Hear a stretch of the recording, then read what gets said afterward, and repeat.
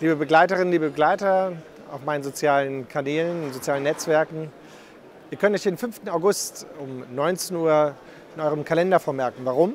Die Friedrich-Ebert-Stiftung Sachsen-Anhalt zeigte Magdeburger Moritzhulf dem nächsten Film anlässlich des Europäischen Jahres der Entwicklung. Als SPD-Europaabgeordneter für Sachsen-Anhalt freue ich mich, dass mit Versuchslabor Armut ein durchaus kontroverser Film ausgewählt wurde, der die weltweite Entwicklungshilfe einmal näher betrachtet. Allein die deutsche Bundesbevölkerung spendet jährlich mehr als 4 Milliarden Euro für humanitäre Hilfsprojekte. Sie tun es in der Hoffnung, die Armut in der Welt zu bekämpfen. Aber wann hilft diese Hilfe wirklich?